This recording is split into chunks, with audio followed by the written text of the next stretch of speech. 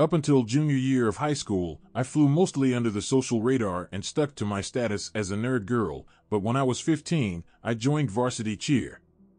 My school's cheerleaders weren't popular by definition, but everyone kind of knew who we were because we were on the announcements, performed at pep rallies, and generally engaged with the students a lot. I made a lot of friends that year, and some of them happened to be the cool kids. For a while, I thought this was my long awaited karma payoff for the years of bullying I'd suffered at their hands. I even developed a crush on one of them, a crush which the junior cheer captain herself volunteered to help me pursue. Homecoming is a big deal where I'm from, and I began to fantasize about my crush asking me to go with him. I'd heard rumors he was planning a dramatic proposal, and as homecoming season approached, I became more and more sure I would be his date. The junior cheer captain, who was close with him, kept dropping hints that I was right. One day at practice, she asked me what my favorite candy was, and I knew it would be so my crush would know what to give me. You can imagine my surprise when, after an exhausting theater rehearsal, I walked into the parking lot and was confronted by a guy I'd hardly spoken to asking me to be his date. My theater friends all applauded, assuming I was overjoyed. I saw both my parents in the parking lot recording the whole surprise. But most importantly, the cool kids I'd recently befriended were standing right there behind him, egging him on. I didn't understand why, because he wasn't popular at all. In fact, he was known to be kind of creepy. The junior cheer captain was laughing, encouraging him to give me the box of my favorite candy he was holding. She definitely orchestrated the whole thing. I didn't really know the guy, but I didn't want to humiliate him in front of the coolest kids in school, so I faked a smile and rolled with it. I promised myself I'd deny him later, in private, so he wouldn't be embarrassed. Afterwards, when my parents excitedly asked me how I felt about the ordeal, I explained how uncomfortable it made me. I said that I got strong creepy vibes from the guy. That didn't fly with my parents. My mother accused me of having expectations too high, and my father demanded to know if I was secretly a lesbian. I had never had a boyfriend or shown much interest in dating.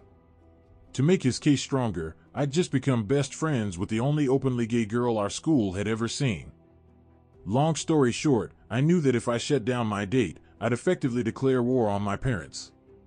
However, I played my dad's protective instinct against him and persuaded him to let me friendzone my date. After all, he knows how high school boys think, right? I texted my date that night and explained that I only saw us as friends, but would still be happy to go to homecoming with him. He was very polite about it, although I could tell he was interested in me romantically. It seemed we'd reached a deal until the next day at school, when one of my cheerleader friends referred to my date as my boyfriend. I corrected her and told her we're just going to homecoming as friends. She seemed confused and told me my date was telling anyone who could listen that I was his girlfriend. A few more of my friends approached me with similar comments, and I confronted my date about them. He denied all involvement and suggested it was just a rumor. I reminded him that we were just friends and I had zero romantic interest in him. He said he understood. I got a call from the junior cheer captain. She pretended to be sweet and conspiratorial, but I was still annoyed that she'd led me to believe my crush would ask me to homecoming. She began her attempt to persuade me that I was wrong to friendzone my date. She said that she'd spent many afternoons planning his proposal with him, and she knew he was kind of creepy from afar, but he was sweet and caring underneath all that. I said, if he was such a catch, she should date him. Annoyed, she dropped the sweet act. She told me that I had to date him because he liked me so much and he'd gone to so much trouble to ask me to homecoming. I had to give him a chance because he'd gone out on a limb for me. I told her she was wrong and I didn't have to do anything I didn't want to do and I owed him nothing. I ended up hanging up on her soon after that but that was just the beginning. Starting the next Monday, he would corner me in the hallway and give me a rose he held in his teeth. He usually did so between my sixth and seventh periods, when my path through the hall crossed his. I was deeply uncomfortable with this and told him so, but he wouldn't stop. I took different routes to escape him, but the junior cheer captain and her posse made a point of tracking me down so he could find me elsewhere. Every time he did this, everyone in the area would treat it as a sweet romantic gesture, despite my obvious discomfort. Wouldn't any girl be lucky to have a boy so devoted to her that he gave her a rose every day? He was still telling everyone I was his girlfriend. The final straw, for me, was when he walked into a class he wasn't in to find me and give me my daily rose. My teacher, who was friends with the junior cheer captain, let this happen. For weeks afterwards, she would ask me about my date every day. When he came in, I told him to get out and leave me alone. His feelings were clearly hurt, and he left looking like a kicked puppy. My classmates started calling me a cold hard B-word. It didn't matter what I had to say about him, I was an ice queen, refusing this sweet boy's advances. Everyone in the school had decided that I was in love with him, and nobody cared what I had to say about it. My crush, who was part of the popular group, joined the junior cheer captain in pressuring me into returning my date's feelings. At every event where the cheerleaders were present, my date would push his way to the front of the crowd. He would go to great lengths to get my attention. At football games, he would wave a flag in the student section so I'd look at him when we were cheering. The other girls would make comments on how endearing he was when he waited in the parking lot by our bus back to the school just to hug me and tell me how great I did. I didn't know what else to do other than let this happen. I had only recently ascended to a position of visibility. If I conflicted too hard with the cool kids who were so dead set on setting me up with this guy, I could be an outsider all over again. I hoped that if I just kept ranting to my real friends about how creepy he was and publicly let him do what he wanted, it would all blow over. My school had a 15 second attention span, so some scandal had to one up me sooner or later. The truth emerged, as usual, in the locker room. It turns out the junior cheer captain had been telling him, during their afternoons together, that I was into him. He'd come to her for help announcing his crush on me, and she'd gone a step further and convinced him I felt the same, despite the fact that I didn't even know his name. She'd lied to him for weeks prior to the homecoming proposal, and when I told her that was wrong, she didn't care. She told me I should be grateful, because everybody was starting to think that I was gay. My best friend, the lesbian who was starting a gay revolution, and I, inspired, spread a rumor that we were dating. After all, everybody already thought I was gay, right? But my date wasn't fazed. In fact, he told everyone that he'd just turned me straight again. Three weeks after he asked me, it was finally homecoming night. Thanks to cheer obligations and a complete coincidence involving a switched backpack that left me without my dress, I ended up only attending the dance for half an hour. My date awkwardly stood on the side of the room while I danced my heart out to Mr. Brightside. I almost felt bad for him when, right at the end, the junior cheer captain appeared like a summoned demon to suggest we slow dance at the next opportunity. Thank God I escaped that one by walking to the DJ and suggesting he play Footloose. My date walked me out to the parking lot to wait for my mom to pick me up. While we waited for her to drive around, which took entirely too long because she still hoped I'd stop making a fuss and date him, he asked me out. I politely declined. He quickly stammered that we could go with a group of people, like the junior cheer captain and my crush. I denied him again and made it clear we were only friends, and I wasn't interested in romantic endeavors because I was too busy. That was actually true. I was in all advanced classes, varsity theater and cheer, and worked part-time. A few days later, a teacher eloped to Vegas, and nobody cared about my love life anymore. My date and I were distanced again by classes and activities and work. It appeared that everything was going back to normal. That Friday at the football game, my crush asked me to sit on his shoulders for the alma mater. Overjoyed, I accepted, and I hoped this was the beginning of a new chapter for me. I ignored the frantically waving flag in the stands. Monday, my date stood on a chair in his second period class and announced that everyone should be wary of my crush because he would steal your girl. I heard everyone buzzing about it a few hours later when someone called me the B word again for breaking my date's heart. I knew I was being dramatic, but I decided not to go to lunch that day, terrified of running into him. I'm so glad I didn't. Later, I saw on Snapchat that my date had carved my name into his arm with a pair of scissors. His bleeding arm was screenshotted and sent to me by half a dozen people, most of them demanding why I'd hurt him like this. He did it in the middle of lunch in a crowded cafeteria, and somehow, no administration noticed or cared. The school was buzzing. My date was a broken-hearted victim, and I was the evil, secretly gay girl who wouldn't give him a chance. I got so many dirty looks. By fifth period, I was ready to just walk out, but my good girl instincts kicked in and I decided to tough it out for two more hours. Around that time, I got a panic text from one of my cheer friends. While she'd initially been insistent that I date the creepy guy, she'd apparently changed her mind after the lunch incident earlier. She told me that my date, who was in her fifth period class, was going off the rails. He had started out saying that he wanted to kill himself because I wouldn't love him. This had escalated to saying he'd kill my crush for lying to me and stealing me away. Finally, he'd started talking about how he knew where I lived because my parents had given him my address when he initially wanted to ask me to the dance at my house and he would make me pay for wronging him. I knew that, after sixth period, our paths through the hall would cross. Since the beginning of this ordeal, the school had cracked down on students getting outside, and my alternate route to escape him was no longer an option. My class was at the far end of the hall with nowhere to go but into the central hub, and he would be coming from the other end of the hallway towards mine. I was stuck up a chimney, basically. Desperate, I texted the junior cheer captain to finish what she started and tell him that I was not and had never been interested in him. She'd made this mess, and I would make sure she had to clean it up. She said she'd go to the counselor, but she didn't know what else to do. This was way beyond her control now. For the first and only time, I skipped class. I hid out in the theater hall and waited for the seventh period. I got a few texts during the passing period that my date was waiting for me by the bathrooms.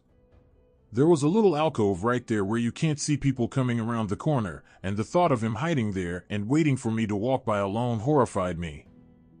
Right before seventh period began, a few of my classmates burst in, cackling, and proclaimed that my date was coming down here after school to kill my crush. They thought this was hilarious, but judging by the look on my crush's face, this wasn't a joke to him anymore. Our teacher brushed this off as typical theater drama pun fully intended. I watched the clock and tried not to cry, knowing that by the time the bell rang my date would be outside, waiting for me and my crush to emerge. That day ended up being a work day, so my crush and I were able to escape the classroom and hide out elsewhere in the theater hall to get away from him. He opted for the black box theater, and I went for the lighting closet. Obviously, I didn't witness what happened, but my best friend filled me in afterwards. Allegedly, my date had turned up three minutes before the bell rang and stood outside the classroom where we couldn't see him when we opened the door. He told everyone standing around that he was ready to have a knife fight with my crush. We don't know if he actually had a knife or not, but the idea that he might was enough to terrify me. His arm was wrapped in paper towels that he was bleeding through. My best friend told him my crush and I were gone, but he didn't believe her. He stood outside for 25 minutes until the administrators began walking through to make sure no one was in the school who shouldn't be. My date wasn't in the theater, so he wasn't allowed to stick around. That night, I texted him that not only would I never date him, but could no longer even see a friendship between us. I sent him a number to a suicide hotline and told him to get help. Finally, I told him that he needed to learn what no meant, and I never wanted to speak to him again. He responded that he was sorry and asked if there was anything he could do to fix this. I told him no. I don't think he learned the meaning of the word after all, because the same pattern repeated itself a few months later on Valentine's Day, the next year at homecoming, senior year Valentine's Day, and prom, but those are other stories. My stalker reappeared on Valentine's Day 2016. I was still a junior, but I had almost forgotten that homecoming even happened when, halfway through my day, he cornered me in the hallway and gave me a rose out of his teeth. I hoped that would be the end of it, but I underestimated my classmates' appetite for drama. During 7th period theater, we were in the library computer lab. After the rose thing, my crush from fall semester, who had since come out as gay, warned us that my stalker was carrying around a present for me in his backpack. I thanked him for the heads up and told my best friend. She and I were sitting together on the inside of a row when the bell rang.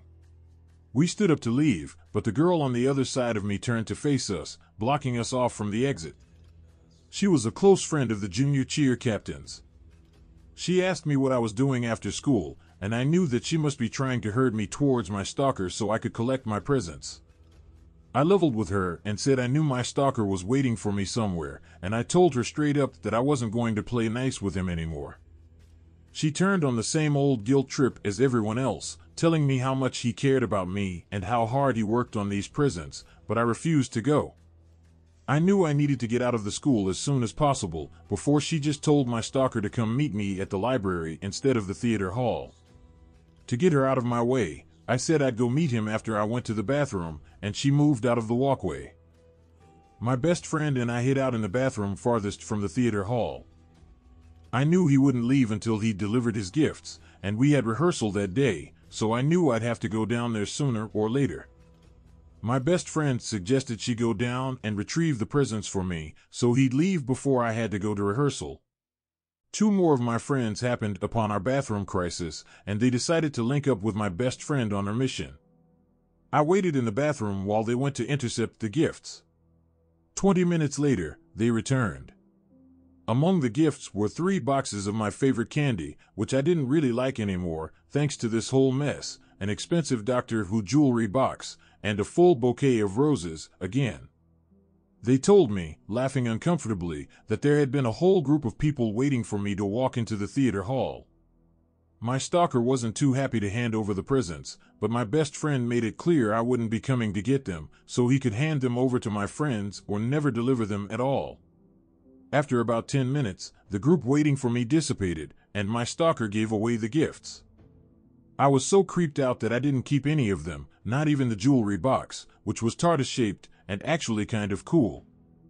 For my birthday a few weeks later, I got out of school after fourth period and went to a theme park with my cousin. I didn't tell anyone I was leaving or where I was going. My best friend told me my stalker had waited outside the theater hall for me with a letter and a rose in hand until the school kicked everyone out who wasn't in the theater. I was assistant director and light crew for one act play that spring. An acquaintance of mine who didn't keep up with gossip was in charge of making the program, and she mentioned how cute my boyfriend was for taking out an ad in the program for me. I was sufficiently freaked out, told her I didn't have a boyfriend, and asked to see the ad he'd paid for. It was a picture of my stalker and I from junior homecoming, along with a note that said something like, Good luck, Saucy, I love you. I begged my friend not to put it in the program, and she didn't, seeing my obvious discomfort. She refunded him his money and made some excuse about a local business buying more ad space. He tried the same trick for the last show of the year, which I was actually in. He showed up to opening night and got kicked out for filming. The theater department has now instituted a widespread rule of checking with the person an ad is targeted at before printing it, which is more than school administration ever cared to do. During a cleanup day for theater the summer before senior year, a guy from a different school showed up to help. He had been talking to me over social media for a few weeks, and I knew I was his next target. He'd made a game out of going on a date with every girl in our department. Sure enough, he asked me out while I cleaned up the prop closet, and I agreed. He was decent looking, and he wasn't mentally unstable, even if he was a fuckboy. I also knew that, if I played my cards right, I could turn this to my advantage. He was using me, so I just made sure I got something out of it, too. We went on our date, it was okay, no weird advances or anything, and he bought me dinner. On the way home, I directed the conversation towards homecoming. He caught my drift and asked me right there, no muss, no fuss. I said yes. Senior year started. My new boyfriend was all the way over at his school on the other side of town. My stalker was in two of my classes, fourth period biology, sixth period English, and had the same lunch as me. I was hyper aware of him staring at me every day, but didn't want to make a big deal about it. I knew he wanted my attention, and I refused to give it to him. Instead, I went about my life as usual. I made friends with the teachers who were lunch hall monitors so I could leave the cafeteria, effectively avoiding my stalker. I ate lunch in the theater hall with my best friend every day. I asked my biology and English teachers not to make me sit by him or work in groups with him, and they agreed, if somewhat reluctantly. They, like pretty much everyone else, thought I was a dramatic cheerleader making up stories. I was a senior, and I really didn't want to deal with the bullcrap of a crazy stalker anymore, not that I ever wanted to in the first place. Homecoming was even earlier this year than last year. In English class, my stalker sat near two theater girls who usually walked to seventh period theater with me, and he turned around to ask them for ideas on how to ask me to homecoming. They were in the camp of classmates who were amused by my stalker's antics, so they wanted to rile him up and watch the fireworks. They also knew about the fuckboy I was talking to, because theater kids are the worst gossips ever, and they gleefully told my stalker that I already had a date. He proceeded to attempt to bite his finger off in class, which went about as well as you might think. Obviously, he didn't succeed, but he did draw blood, and he terrified my two theater friends who had incited his instability. He stared at me the whole time, and I sat on the other side of the room and ignored him.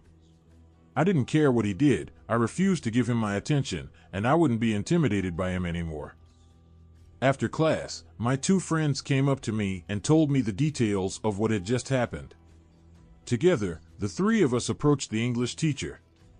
She believed me fully this time.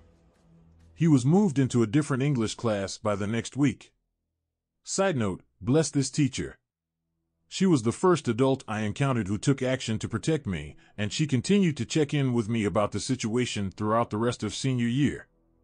Sixth period became nothing less than a sanctuary for me, because, for once, somebody believed me, and they were listening. I didn't have to worry about him after fourth period, because I skipped lunch every day.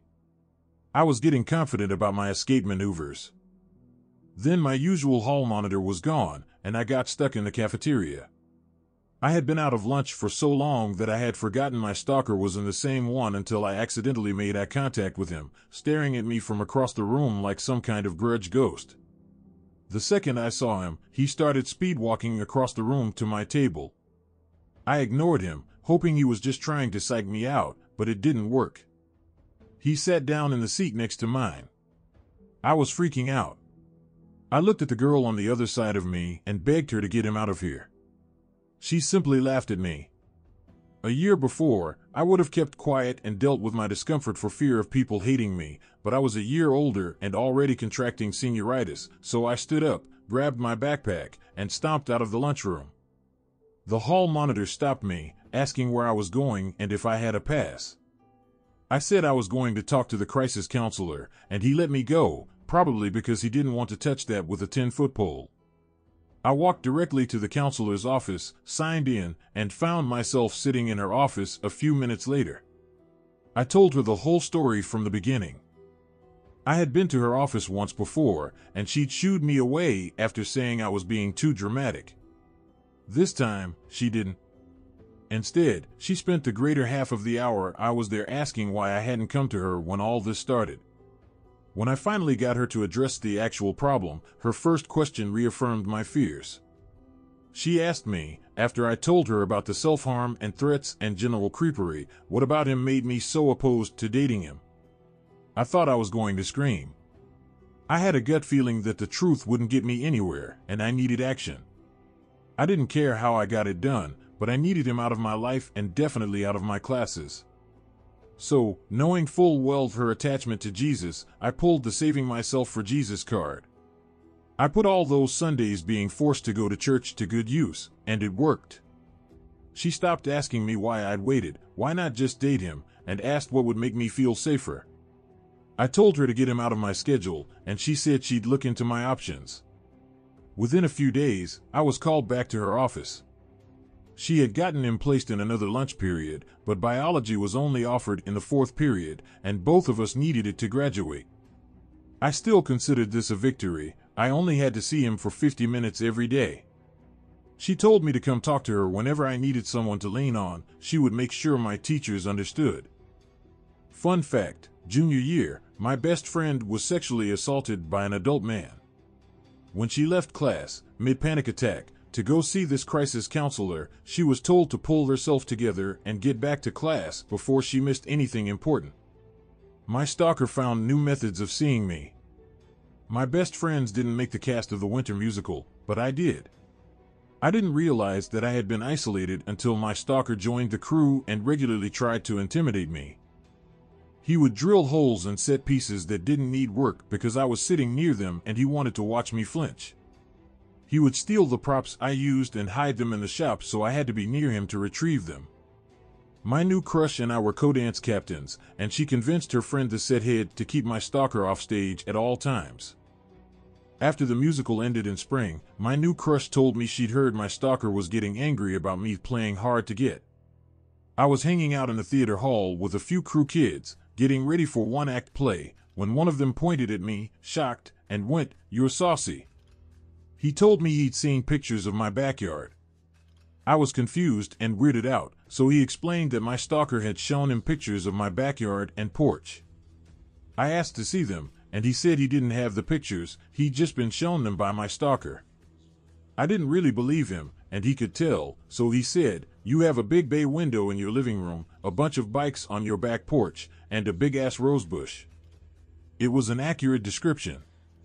I don't know for sure how to explain that, but I've theorized that my stalker had, at some point, been in my backyard before we adopted our purebred Doberman. The dog had freaked out in the middle of the night a few times, but we brushed it off. Now, I wasn't so sure. My bedroom was in the front of the house, so I tried to reassure myself by thinking he hadn't seen me changing or anything super scary, but it didn't really help. My best friend was disowned by her mother and stepdad, and within a weekend she was shipped off to live with her biological father. I told myself I could survive the next four months and graduate, and then I'd never see my stalker again. I persuaded my parents, as prom and graduation approached, that I only wanted one present, my best friend. They paid for her plane ticket both ways and flew her home to be my date to prom. I kept her a secret so I could surprise our other friends when she showed up at prom to dance with us. My stalker only briefly entertained the thought of asking me to prom, which I later discovered was the now senior cheer captain's doing. I guess she'd finally started to realize the full effect of her actions because she'd told him he needed to leave me alone. I don't know what else she said, but he went eerily silent in the weeks leading up to prom. He still came to the last play of the year, but he didn't film me this time. He waited for me outside the auditorium afterwards, but I was with other people on our way to the cast dinner, and he didn't try anything. At prom, my friends were elated when they saw my best friend had returned. We danced and talked crap and had a great time together. It was honestly one of the best moments of my life when they walked in and saw her. Of course, my stalker tried one last time to change my mind. My friends and I were sitting at one of the tables together, laughing and catching up, and I saw my best friend's expression turn into a glare when someone walked up behind me. I turned around to see my stalker, waiting behind my chair. I stood up and said, as calmly as possible, that he wasn't welcome here. I was also 17 and pissed off and feeling unstoppable, so I tacked on, if you ever speak to me again, I'll rip your private parts off. It was the last thing I ever said to him. My best friend flew away again, we all graduated, and everyone went our separate ways for college. I saw my stalker again at the first homecoming after I graduated high school, but he didn't talk to me. He just stared at me the whole game. Later, he showed up to my sister's fall play at our alma mater, and he asked a cast member where she was and if I was there. Lucky me, the cast member was one of my littles, and he told my stalker he needed to leave immediately.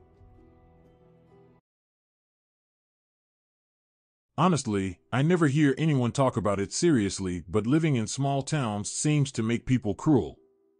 Maybe it is just the sheer boredom that brings out the worst in people? Anyways, this is my first time retelling this story, so please bear with me. I grew up in a rural Texas town with a crippling meth problem, no positive outlets for people to do activities like a movie theater or a park, and we didn't even have a large grocery store to just hang out in. The teens mostly just ended up drinking, driving, and going to bonfires, but quite a few of the teenage boys in my neighborhood decided that being evil was the best way to have fun. They would literally go out of their way while driving to swerve and try to scare younger kids riding bikes, poison loose dogs, and even set fire to a few of the trailers in my neighborhood while people were still in them. Only one arrest was ever made in connection to the arson, but it had definitely been a group activity. My neighborhood was a trailer park in which each trailer was placed on a few acres of land with at least some forested area between each plot of property. The road was an older dirt road with gravel and rocks poured over the dirt, which is what I had to learn to ride a bike on. It was difficult. One day around 10 or 15 years ago, I was doing my best to ride the bike on this rock road without falling. While riding away from my house, I saw my older sister, who was about 16 at the time, sprinting alongside the road towards me from the opposite direction. I was going very slow trying to keep my balance, but decided to just get off the bike when I noticed how panicked my sister looked. I saw a dust cloud coming from the road, but a fairly large hill was blocking the view of my sister and I from any vehicles that were coming towards us. When my sister got to me, she grabbed my arm so hard that I winced in pain and she pulled me away from the bike. By this time, the truck that was producing the dust trail was just coming over the hill, but was still fairly far away, so I don't think they noticed us. There are woods around 10 feet off both sides of the road where I was, and my sister was pulling me into the woods on the left side of the road. I complied, but was asking her what was happening. She just told me to hurry. We made it about 30 feet into the woods when my sister dropped to the ground and pulled me with her. She covered my mouth and told me to be quiet. I complied. I saw that the vehicle she was worried about was a black truck filled with five guys that were in their late teens or very early 20s. The truck screeched to a stop right where my bike was. I froze solid when I heard my sister whisper crap. Three of the guys got out of the car, but didn't say anything. It was clear that they were looking very intensely into the woods on both sides of the road. Luckily, for some reason I am not sure of, they all lined up and started approaching and walking into the woods on the opposite side of the road. They were talking, but we couldn't make out what they were saying. I was worried that they would take their time looking for us since only a handful of people lived this far down the road and it could have taken hours before another car would pass through. It took about five minutes of perfect stillness and silence before one did, though. One of the guys had already placed my bike in the back of the truck when they noticed another car coming over the hill behind them. They quickly jumped in the truck and sped off. We waited there for probably 10 more minutes before we stood up and started the walk back home, although we walked right along the tree line instead of on the road itself, just in case.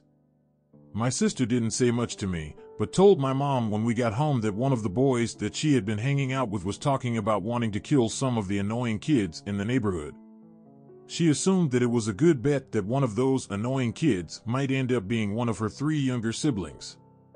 It could have been any of us, but I was the one that wanted to go ride my bike alone that day instead of playing video games with my two brothers.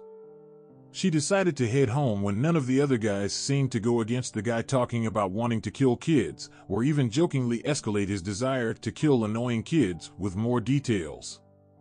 She had been running home and got just enough of a head start before the boys hopped in their truck to stop whatever they might have done. The cops were informed, but apparently the boys disagreed and a parent claimed they never left the trailer, so nothing ever came of it. I knew two of the boys' names because we lived in the same neighborhood in a small town, and I know they never got less evil. They later invited my sister to a bonfire party that everyone was going to be at, but my sister decided not to go. When she asked all of her friends how the party was, literally no one knew about it. That is because she was the only one invited. She stayed away from them ever since, and fortunately neither of us still live there. Of the two that I knew, one is currently incarcerated for several drug-related offenses, but the other is still out there. As for the other three that were in the truck, I have no idea where they are or what they are up to. So to the garbage boys in the truck, you can keep my bike because I hope we never meet again. This happened to me when I was a young boy. I am now in my late 50s and I haven't thought about being 10 years old in a long time. My youngest kid told me about this YouTube channel a while back, so I thought you all might like to hear this story of someone I would never want to meet again. I remember it being around my 10th birthday when everything changed in my life for my family. I remember it being the best birthday yet because my mom had secretly saved up enough money to buy me my own bicycle, and I was more than thrilled. No more borrowing my older brother's, standing on the back of his, or sitting on the handlebars of a friend's bike. We were by no means well off when I was young. We didn't have much, so getting that bike had meant a lot to me. My father was a man who worked a lot and drank even more than he worked. I am pretty sure he was drunk more than he was ever sober, and because of that, he was hardly around. That was okay with me, my siblings, and my mother for the most part. Things were actually nice and peaceful when he was not home. And the nights he did actually come home, we knew right away to steer clear of him, be quiet, and leave him alone. We lived outside of a small town, down a long dirt road with not very many neighbors nearby. The closest house was a good mile down from us, a really big farmhouse with a lot of fields around them. I remember being friends with their kids as they were around the same age as us and we went to school together. Their mom was very sweet and always offered us something to eat or drink when we would stop down there. And their dad, well, he was the complete opposite of our father. I never saw him drink, yell, slap them, or their mom around. We knew that not every family was like ours and that some fathers out there actually seemed to care for them. Like I said, I remember it being around my 10th birthday because my mom had baked a big cake for myself, my brother, and my two younger sisters to share, and of course she had some too. Then she took me out back where she had hidden the bike from me in one of the sheds, and I remember screaming with excitement, hugging, kissing her, telling her I loved her and that she was the greatest mom ever. I hopped on the bike right away and took off up and down the road to test it out. It was a great feeling at that moment. When something so great happens, you kind of forget the regular hell life you seem to live every other day. It's hard to explain, I guess. Things were good the next couple of days. My father had not been really home for almost a week, probably at that point. Sometimes he would just stop in for a few moments here or there, I guess to just check up to make sure my mom hadn't left him or anything. When I was that age, I hardly recall at any point in time when he was home for more than one or two nights in a week and never two nights in a row. We, the kids, never knew what he was doing nor did we ever really want to know, we just knew it was better at home when he wasn't there. I remember riding my bike down the dirt road on my way home from running into town to pick up something at the grocery store for my mom. When my dad's pickup truck passed me and kept heading on down toward home, it made me want to not even go back home, but really, what else could I do? The sun was just starting to go down, and normally, if he did come home, it was right after work or very late at night after he left who knows where. So it was kind of odd he was on his way home at this time of the day. By the time I pulled up into the yard, I could already hear the yelling. I could hear my mom's voice, trying to reason with him for something or other, and then I would hear my dad's voice just overpower hers. I heard something smash. I didn't want to go inside. I could hear my little sisters bawling, and then I heard my mom crying too. My older brother just happened to be down at the neighbor's place that had the farmhouse. I really didn't want to go inside at this point, I heard another smash. I decided to go in because I couldn't leave my mom and sisters in there alone with him. I peeked in the window of the door before I actually walked in and saw the house getting destroyed right in front of my family by my crazy, drunk father.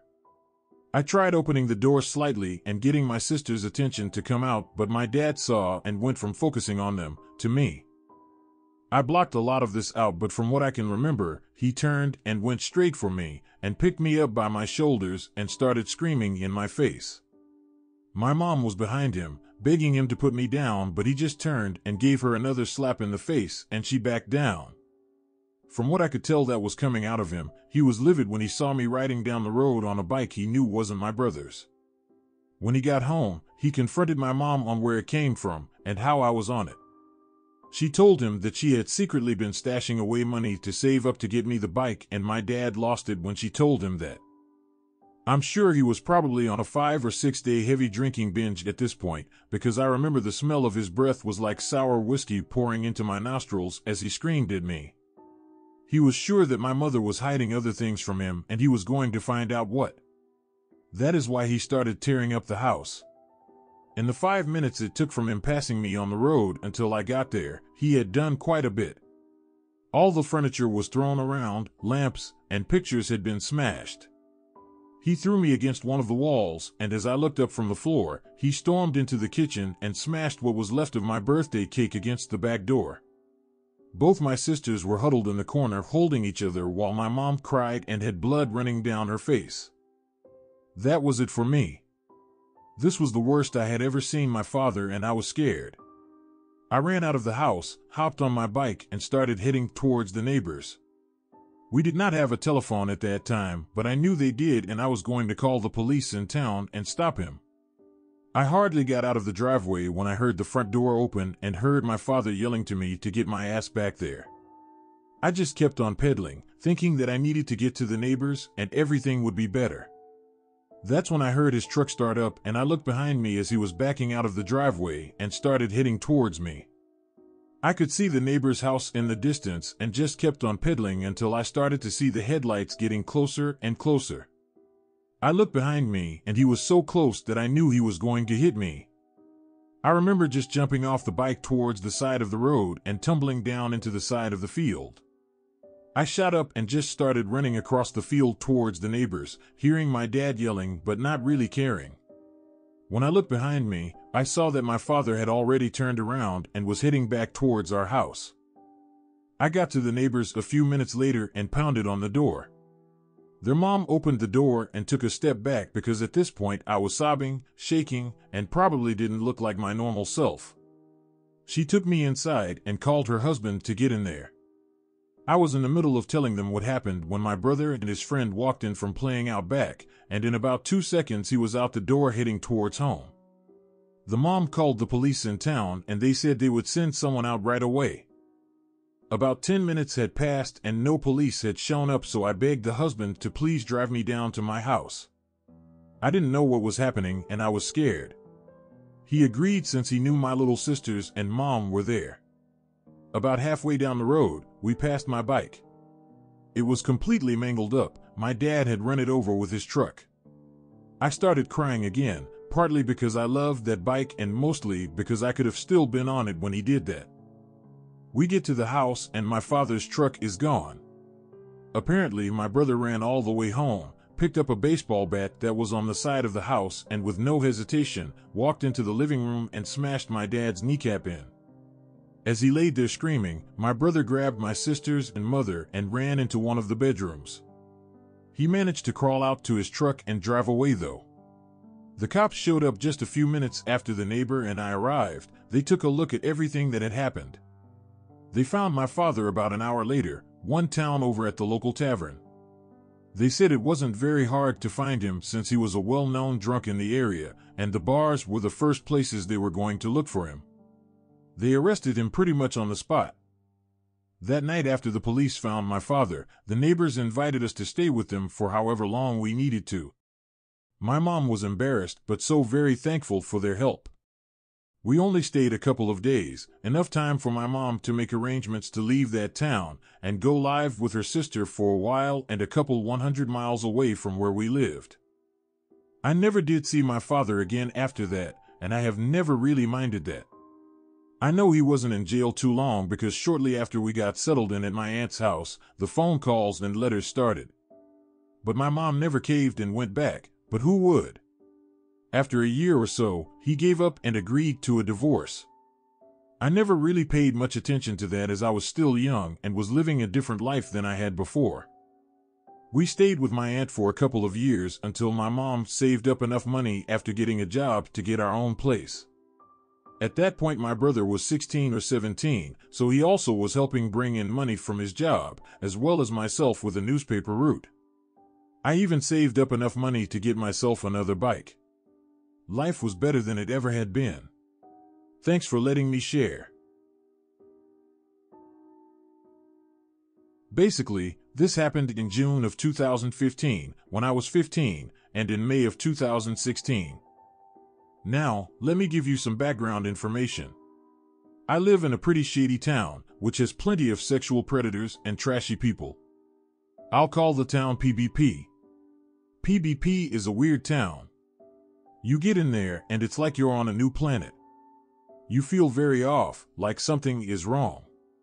It's not something you feel immediately, but after like half a year of living there, you begin to realize it. So, one day my dad and I were walking down the street to go catch the bus.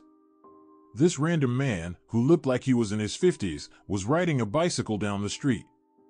We didn't pay any attention to him, as we were caught up in our own conversation about what we had to buy at Walmart. We only paid him any attention when he stopped and got off his bicycle, staring at me. I instantly felt uncomfortable but tried to smile and be polite. I figured I was just being irrationally scared. He came up to us and said, Sir, I would just like to say that your daughter is the most beautiful woman I have ever seen in my whole entire life. I would like to marry her. I instantly froze and my smile faltered. I couldn't believe he had just said that. Then my dad shifted so that he could be in front of me and said, She's 15. The man gave a creepy smile, which showed off his nasty yellow teeth. Well then, come and find me when you're 18, sweetheart. After that, he rode off. I was a bit scared, but figured I wouldn't see him again. After all, I don't leave the house very often.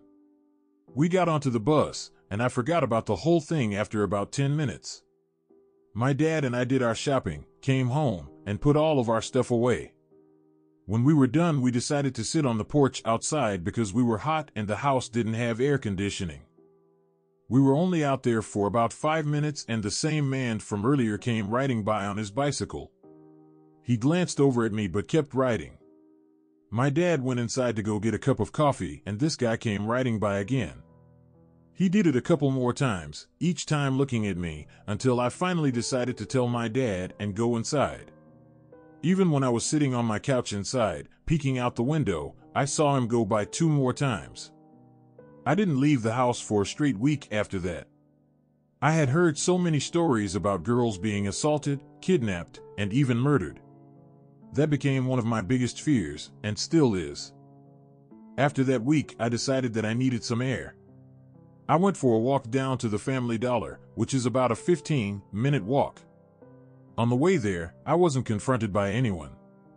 I got an occasional hello, how are you from some people sitting on their porches, but that was about it. On the way back, I felt calmer. I figured the creepy man had forgotten about me. I was listening to music and zoning out, barely aware of my surroundings, when the same guy from earlier came around the corner on his bike and stopped in front of me. I don't think he had been following me, I think he had just been riding around, because when he saw me he looked at me briefly and looked shocked. Then he gave me that same nasty smile, blocked my way, and said, Hello, sweetheart. Haven't seen you in a week. I tried to smile, but I felt my heart drop. I shrugged and told him that I was just feeling a little sick and needed some time to rest. He was still smiling and got a little closer to me. I was very close to kicking him in his shins and running to the hair salon behind me. I'm never giving up, you know he said, before looking me up and down and riding off. I breathed in and ran to my house. For the next couple of weeks, I would only leave the house if my sister had to go somewhere, was driving, or if my dad was walking with me. When he saw I was with someone, he wouldn't say anything, just smile. When I quickly ran into stores, he would cycle around them for a couple of minutes and just wait for me until someone came out with me.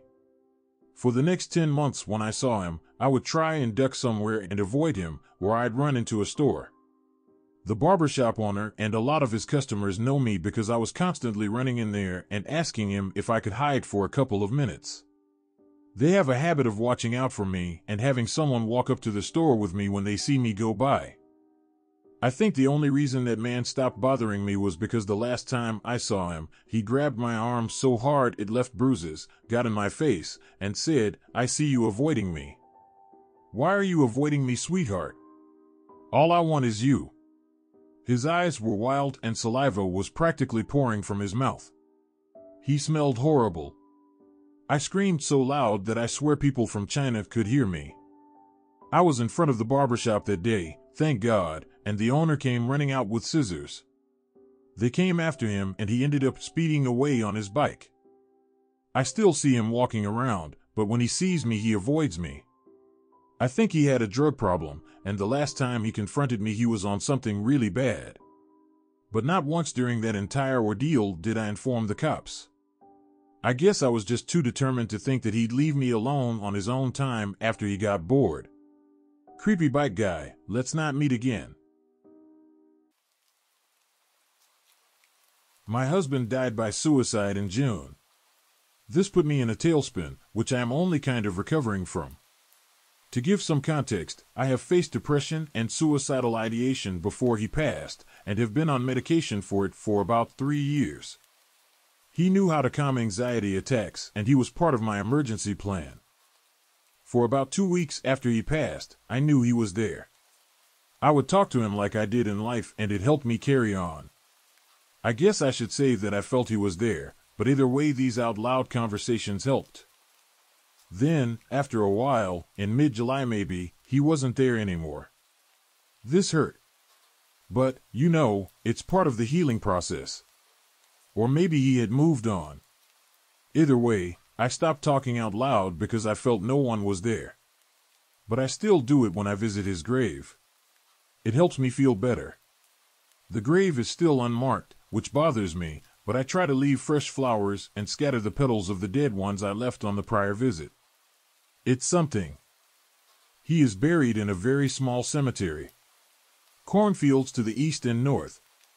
The lawn is not maintained, which I love because it's not artificial. He is in nature, or as close to nature as one can be with the cemetery requirements. I was visiting him, just talking, late last month or early this month. I told him that things weren't going well. I wanted to die and work was stressing me out. I stood there in silence for a moment or two. I didn't want to leave him on a bad note when I felt it. The air, it just stopped. It was like I was in my own atmosphere. A bubble. Nebraska is always windy, and I couldn't hear the corn rustle. I couldn't hear the wind chimes we have marking his grave. My breath caught in the sense that I forgot to breathe because of something amazing, not fear or panic, but something like awe. Then I got gooseflesh and started to tear up. It was him. He was there, with me, in my silence. I rambled out a teary, oh. Hi. Okay. You're here. Oh.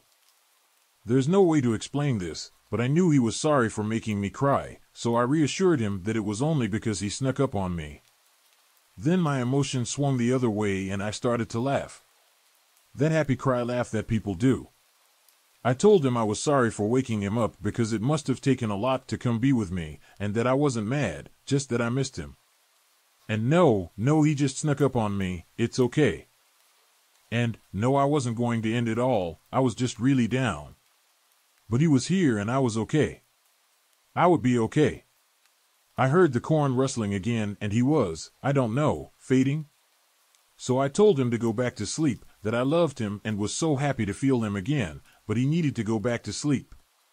I left the cemetery on a high note, still chuckling like an idiot. I was very skeptical of ghosts and spirits before this, and still am for the most part, but that moment in the cemetery was different. He hasn't done it since, and I'm not going to push it because I do think it wore him out. It was just so nice. Also, I don't believe in the religious ideas of heaven or hell, but more the idea of peace and rest. My wife and I moved into our old house in New England about the summer of 2000. We had looked at dozens of houses, but this one just immediately felt like home. Soon after, we invited our good friend James and his husband up for a weekend. Keep James and his husband in mind. We were pretty well into getting our late night party on, playing cards, drinking, and smoking in the dining room. Out of the corner of my eye I saw, though the experience was more like perceived, a very vividly older woman with jet black hair sitting next to the old upright piano in the corner. The piano came with the house, and we specifically requested that the previous owner include it in the sale because it was so cool, and we didn't have much furniture. It wasn't even slightly scary. In fact, it was just like she was hanging out. I mentioned it to everyone and we laughed it off. Drinking and fun continued through the night. I was never really a ghost believer and still a skeptic 100%. But the rest of this story makes me really wonder. Several weeks later, we met a neighbor from down the street who lived in the neighborhood for 45 years. She asked, You live in the Muriel King house? She tells us, Muriel was a really interesting lady. She was a famous fashion designer in the 1930s, and she lived in that house alone after her husband committed suicide.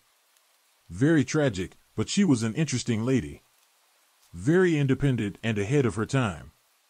She traveled all over the world. She was Greek, I think. Greek?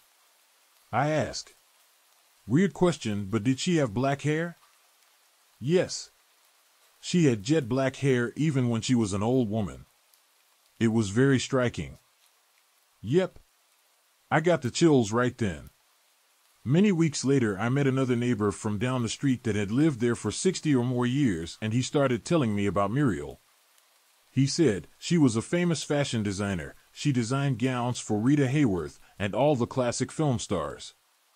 And she designed costumes for Broadway plays too. He continued, her parties were legendary, he tells me. She used to have all her gay boyfriends from Broadway come up on the train and they'd drink and sing show tunes at the piano in the dining room all night long. Yep. Now this all could be coincidental, but it just seems too much so. But she must have been an awesome woman. People from around town have given us some of her original drawings and even an unfinished dress she was working on. There haven't been any more Muriel sightings, but shortly after my wife got pregnant, we both woke up out of a cold sleep at the same time and looked at each other like, what the hell? Then our bedroom door slammed hard. We like to think that Muriel wasn't a fan of kids. She never had any of her own. So maybe she was like, later, y'all, I'm out of here. That's my story. When I was young, my father and I often went hunting together. My father was a real outdoorsman. He was tall and kind of a big guy. He taught me almost everything I know about survival in the wild. I remember one time he told me in a slightly exaggerated way how he almost starved to death and survived among wolves and bears. Thanks to my father, I know the diet of almost all animals in the wild, and I remember it even now. For many years, my father was the man who was not afraid of anything. But this changed after an incident. That year we were camping at the foot of a rocky slope in our favorite hunting area. The previous year I had shot a deer for the first time in my life. I was very excited for the next day. Our plan was to get up before sunrise and head out to the meadows a few kilometers to the west. The deer population in this area was quite good. That night my father was again telling me one of his hunting stories from before I was born. In the middle of the story, we heard a high-pitched scream, and I think my father realized that I was a little scared. So he smiled and told me that the sound belonged to a deer. Seeing my father's relaxed demeanor, I relaxed too.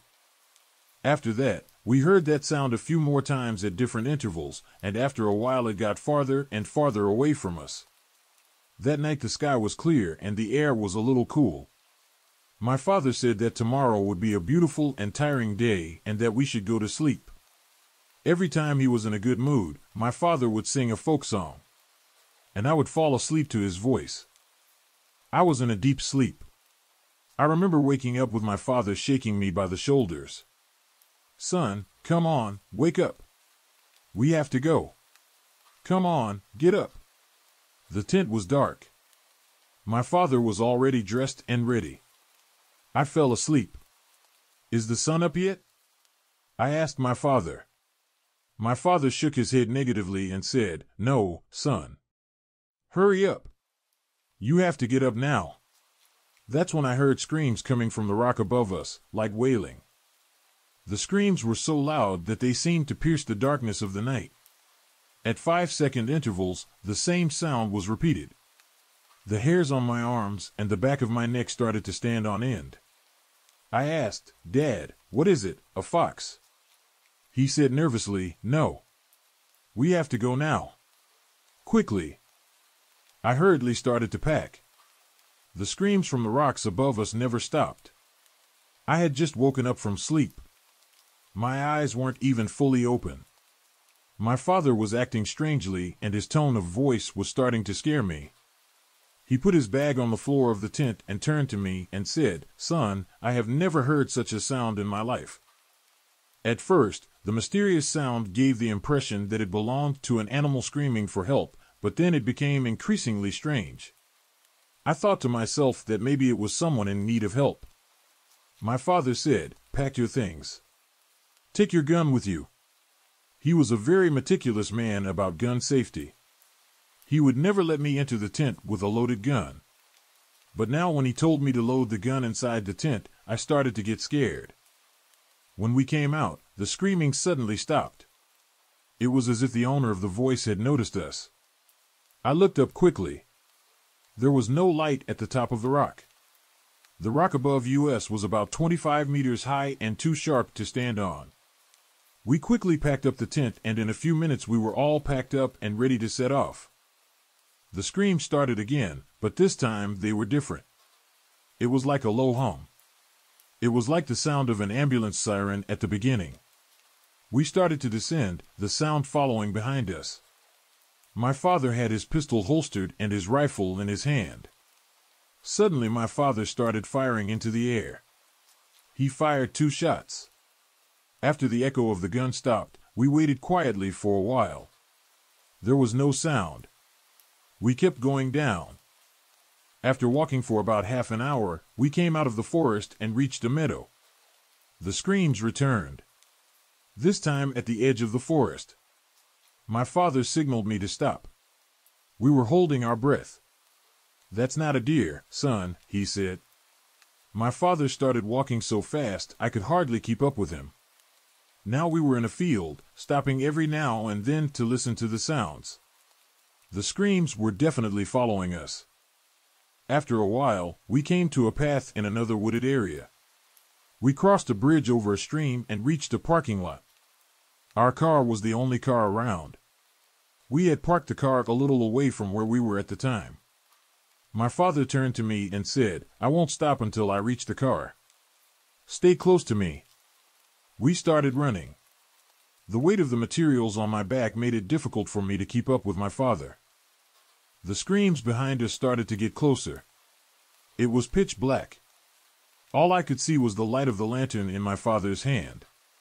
I was running in fear, each scream echoing behind me, making the hairs on the back of my neck stand on end.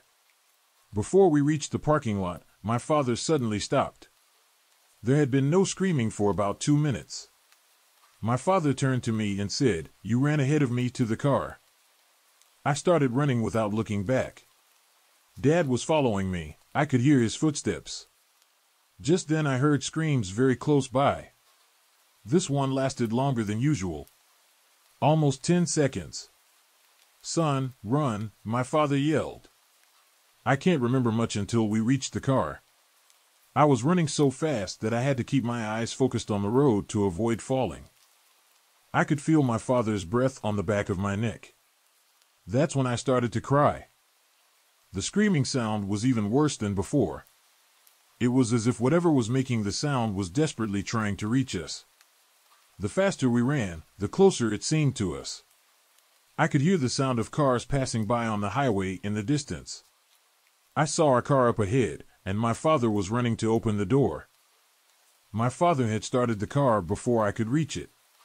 I threw myself in so fast that I hit my knee on the door. We both looked at the edge of the woods as we took a sharp turn out of there. We couldn't see what was there, but I could still hear her screams, her voice, despite the sound of the car. I'll never forget the last thing I heard. It was almost like a laugh, a crazy laugh. As we drove further away, my normal perception and emotions returned and I realized that I was crying. My father had turned white. We stopped at a gas station a few kilometers away. I was hugging my father and crying. When my father and I returned home, we didn't tell my mother or my sister what had happened. It remained a secret between us.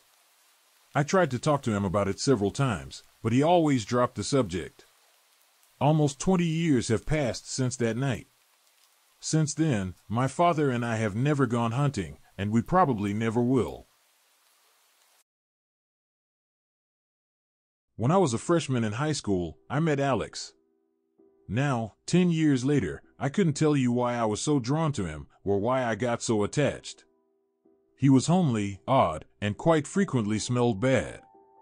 There was a darker undercurrent that ran below his surface, and I thought I saw unspoken sadness that matched mine, and maybe as a naive 15 year old, I had the stereotypical we can save each other from our pain bullcrap fantasy.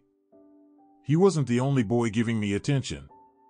In fact, he barely even gave me that, since he played me hot and cold emphasis on the cold, but he was the one I wanted.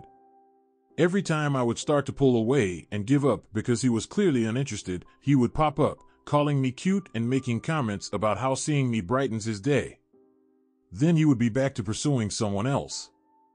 I was 15, naive, and hurt, but still finally had enough so I decided I was done.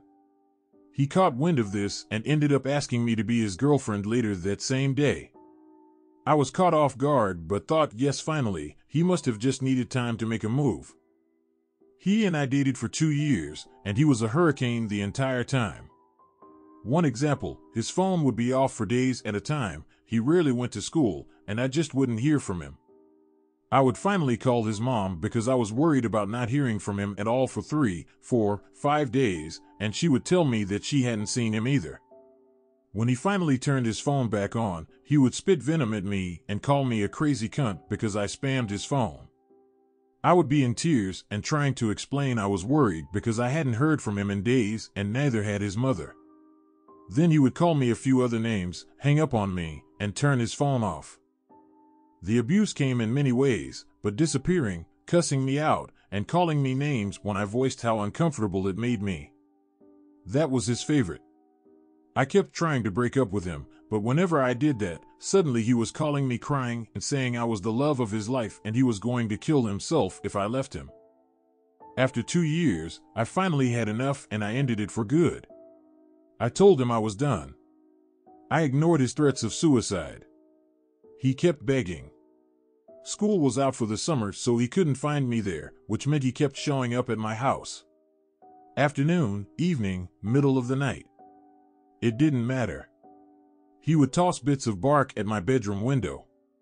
He would sit out there for a long time trying to get me to talk to him. I didn't know what to do. I thought he would give up and that it would be okay soon. One day I was walking home from work. I was a block away from my house, and Alex came sidling up next to me in his car, pleading with me to talk to him. I told him I had nothing more to say. He said, Then let me talk, please, he begged. He was crying. I had no intention of getting back together with him, but I still hated seeing him hurt. I agreed to let him say what he wanted so he could get closure. I sat in the car and told him to talk. He started babbling incoherently and kept trying to make me feel bad for abandoning him. I told him the conversation was over and I was leaving. He locked the doors, and as I went to manually push the lock on my door up, he grabbed my arm and told me I wasn't leaving. I panicked. I smacked him, shoved him away from me, and scrambled out of the car. I ran the rest of the block home. He continued to lurk. Spammed my inbox, drove by my house and place of employment. I ended up rebounding and started dating someone new. He was Alex's complete opposite and made me feel happy and light. However, once Alex caught news of this, he flipped out. He went ballistic. The calls and texts increased both in frequency and in level of mania. He started hanging out right outside of the store I worked at. It was a small store in the mall, so I could see him, just standing there staring at me.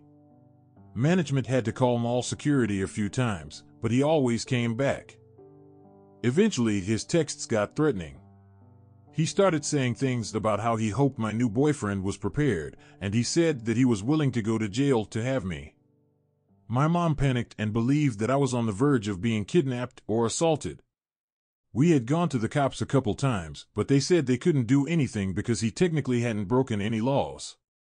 We took the threatening messages to them and they said they would start to file a restraining order. They warned him that he couldn't go near me, talk to me, or he was in violation of the order of protection. He kept showing up anyway. One night, around midnight, the doorbell rang. My mom was confused and asked if I was expecting anyone. I told her no. She opened the door and there, on the front step, was a card, a rose, and a burning candle. We glanced up and down the street and didn't see anyone. We were immediately spooked because there wasn't enough time for him to ring the doorbell and get out of sight already. You could see a long way down both sides of the street, unless he was hiding in the trees along the house. This went on for a while. He kept following me and showing up at my work, which means he kept getting visited by the cops, and his friends even got involved and started threatening me for what I was doing to him. Eventually, the order of protection was placed, and all at once everything stopped. But my paranoia and fear and jumpiness lasted for a long time after that. This story goes back to a few years ago when I was a 17 year old high school student.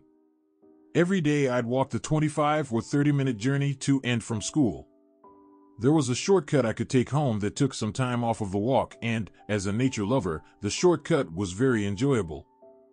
Whenever I'd walk home alone, I would take this shortcut to enjoy the small amount of forest we have in the medium sized, moderately busy city I live in.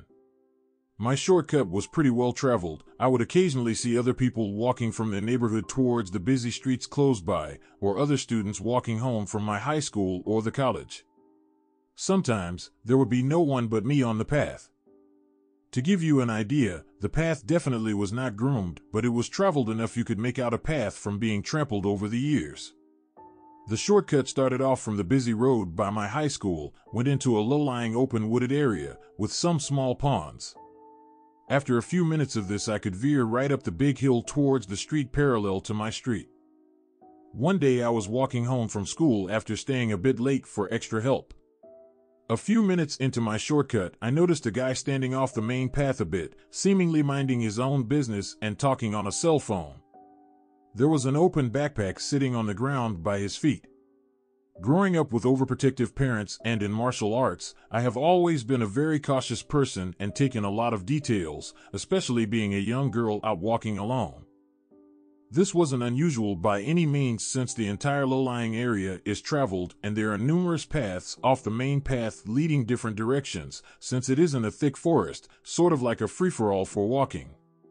Sometimes people would stand off the busy road while waiting for the bus stop close by, not wanting to stand in all the traffic fumes while people sped by during rush hour. The only thing I took caution of was that I had been seeing him there a few times that week and had never seen him before. But oh well, maybe he was a college student or just moved into the area. This time walking on the shortcut felt different though, possibly because there was no one else on the path today. But I started to get this bad feeling in my stomach, the one everyone has a hard time describing, but most people know too well. Something was not right. I was already well along my shortcut though, and I decided to blame my feelings on me being paranoid, which is not uncommon of me. I kept an eye on him out of my peripheral vision walking by, and he continued to talk on his cell phone and didn't seem suspicious. So I continued on my merry way. I must have walked 20 or 25 meters away when the guy stopped talking on the phone, and I felt an even bigger feeling of dread in my gut. I turned around to see him crouched over, phone gone, fidgeting around with some sort of cloth and a brown glass bottle. Before I had a second to register what the fuck he was doing, his head shoots up in my direction, and the look in his eyes is a terrifying mix between I've been caught and I'm not stopping now. He drops everything, leaving his stuff behind, and starts sprinting straight for me with a cloth in hand. At this point, I'm too far away from the busy road for anyone to see me in the low-lying woodland with this crazy basitard, and I'm too far away to scream bloody murder. My first instinct in that split-second decision is to run towards my neighborhood. I decided this all as I turned around, throwing my heavy backpack on the ground, and sprinting as fast as I could, starting up the hill towards my neighborhood. Judging by appearance, this guy looked like he could break me in two with no effort, and I trusted my flight response more than my fight response. Plus, I didn't know what the hell he had in his hand. All throughout school, I had been the top cross country and track runner in my entire school, out of the female and male teams. My running had been my savior on a few other let's not meet worthy occasions, but soon into the chase, I knew it wouldn't be enough this time. This guy was freaking fast as hell, and I could tell he was slowly gaining on me without even looking back. I finally see some fences and backyards up ahead and hoping people are home from work. I start trying to scream help as much as I could with my out of breath and useless voice. I made a split decision to start jumping fences of people's yards, hoping this guy's hurdling skills are worse than his running. The first fence throws him off, but by the second into the next yard he is on my ass, and I feel him come insanely close to grabbing my leg. I am crapping myself at this point. I see no cars and driveways, no sign of anyone home, and the only thing that is keeping me from panicking is thinking that I may not ever see my family or friends again. The next yard belongs to people I know rather well, including their dog. Necessary background interruption this house was close to my street on the street parallel to mine, and I have come to know their dog rather well since they recently moved in. My friend hated the shortcut, and sometimes I would walk to school with her on the street down the hill to the busy street. This dog was huge and an absolute maniac, and, usually, when kids were walking to school, they would put him in the backyard instead of their front yard since he would growl and scare the crap out of the kids walking by while he was tied outside. I love animals, so every time we'd walk by, I'd talk calmly to him through his menacing, I'll F you up barks.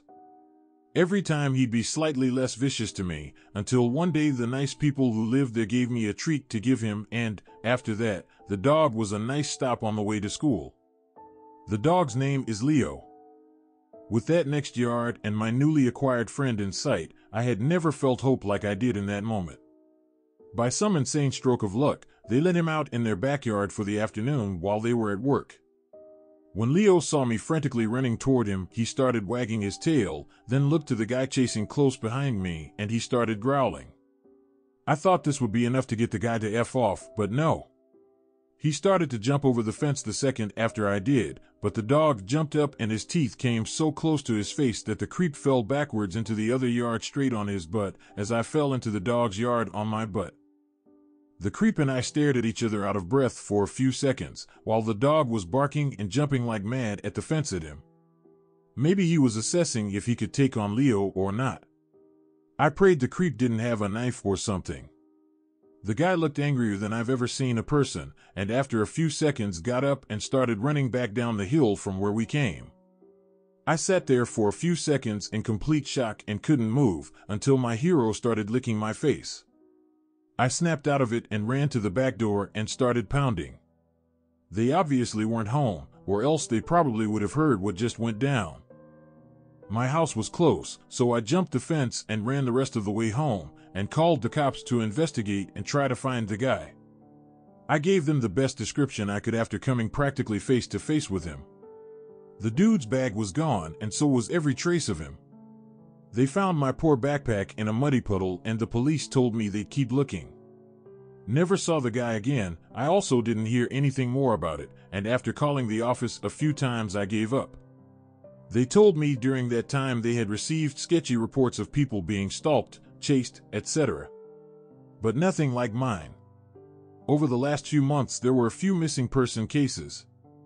But in a city like the one I'm from, not the worst, but not the best, you can never connect anything like that for sure. The more I thought about it over the years, the more messed up it is, and the more confused I am. First, if he was trying to kidnap me, why didn't he think of a better way to grab and snatch me into the forest before I had the chance to get away or before another trailgoer possibly walked by? He didn't appear to have a weapon on him or anything except that creepy cloth. And what the hell did he have in his hand? A friend thought it may have been chloroform. But I did research on it. Apparently, it's more a myth that pouring it on a rag and covering a person's face causes them to faint very quickly. Plus, where the hell would you get it anyway? Thanks to that creeper, I never walked the shortcut anymore without, at least, two friends. And pepper spray or some sort of protection. So, kidnapper, amateur stalker, serial killer, or whatever the hell you are, let's never ever meet again. Leo got lots of extra love whenever I saw him. I am usually really safe when it comes to accepting friend requests when it comes to Facebook. Let's just say I made a huge mistake. One day I got home from school, logged onto Facebook, and saw a friend request. It was from a kid who is widely known at my school. He is mentally unstable, and he also had at least 100 mutual friends as me, so I accepted. He starts talking to me instantly. It was a pretty normal conversation, like, hey, what's up, same, etc.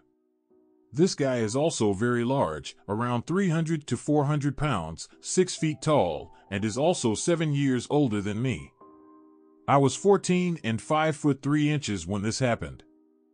He started to talk to me every day, having normal conversations.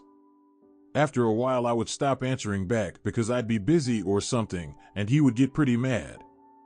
As I didn't want to be rude, I try to be as nice as I can and answer back. He then says, You go to this school, right?